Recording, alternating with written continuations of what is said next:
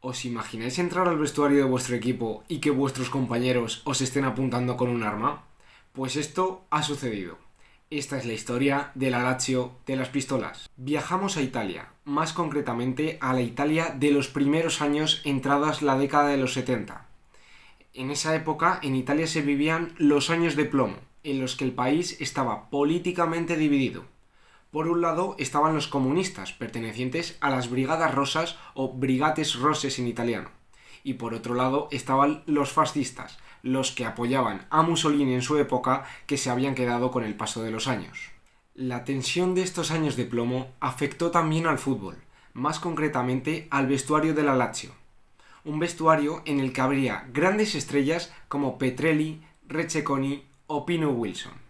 Pero si destacamos una estrella en este equipo, ese era Quinaglia, un delantero bastante fuerte y corpulento que había sido capo canionere, es decir, máximo goleador de la liga italiana en ocasiones anteriores.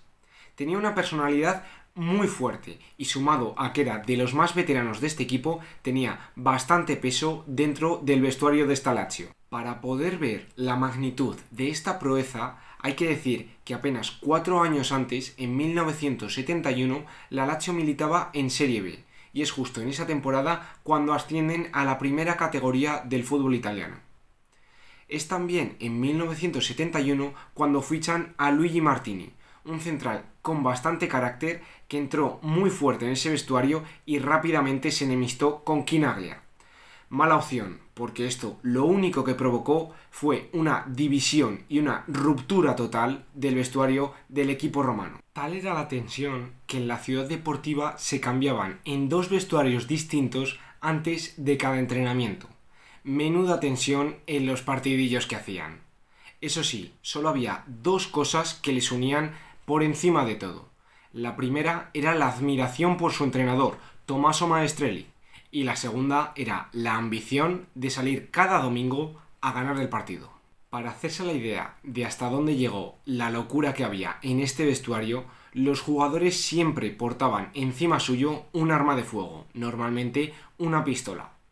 Esto supuso varios altercados tanto en los vestuarios como en los hoteles de concentración y los jugadores había anécdotas de que disparaban a los recién fichados o a los que subían del filial para ver si eran lo suficiente valientes para militar en este equipo.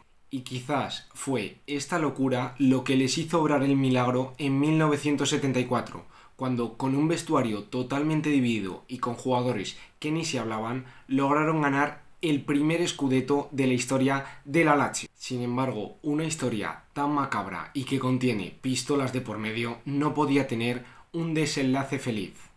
A los pocos meses de lograr la hazaña de ser campeones del Scudetto, su entrenador Tommaso Maestrelli falleció a causa de un cáncer de hígado, lo que ya produjo una ruptura total en este vestuario porque Maestrelli, para los jugadores, era como un padre. Uno de los jugadores más queridos por todo el vestuario, era una de las excepciones, era Receconi. El prometedor jugador italiano tuvo un desenlace fatal, y es que con la fama que se había ganado este equipo, según cuentan las crónicas policiales, entró a una joyería supuestamente escondiéndose un arma dentro de la chaqueta el joyero rápidamente se asustó y sacó una escopeta y le disparó instantáneamente, a lo que Receconi falleció en el acto. Sin embargo, la familia del jugador y sus excompañeros dudan de esta versión policial, ya que dicen que era un hombre tranquilo y que jamás llevó un arma encima. Y hasta aquí la historia de este curioso equipo, con un final muy feliz por la hazaña que lograron, ganando el Scudetto, pero con un desenlace muy trágico. Si os ha gustado, dadle un like, suscribiros, activad la campanita y ponednos en comentarios más historias como esta que os hemos contado.